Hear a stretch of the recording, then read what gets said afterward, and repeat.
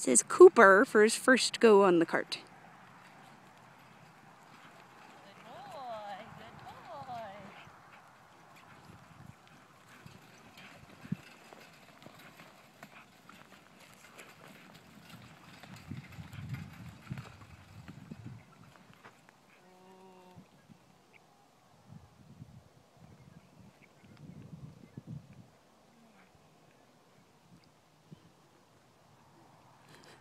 Now you're really going to have to work.